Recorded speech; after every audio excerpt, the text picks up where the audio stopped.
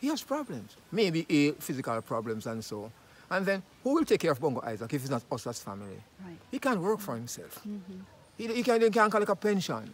So we'll have a system. So what we're trying for is sort of poor collectives, adopt an ancient now. So you put up an ancient like Bongo Isaac. Yeah. So whosoever want to send money straight to Bongo Isaac, you will get it. Mm-hmm. Can put up uh, Right. Mama Dean. Right. So we are widening the scope of the mm-hmm. website. Because we just design a new website, putting more information in, more ideas.